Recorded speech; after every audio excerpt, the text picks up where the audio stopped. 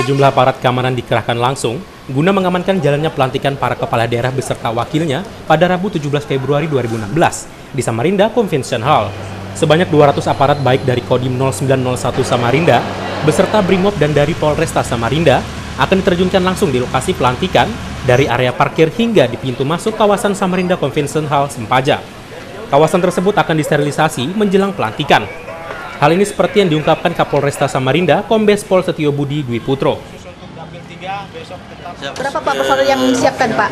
200-an personil. Karena kan lima, lima atau enam kabupaten kan di Sempaja.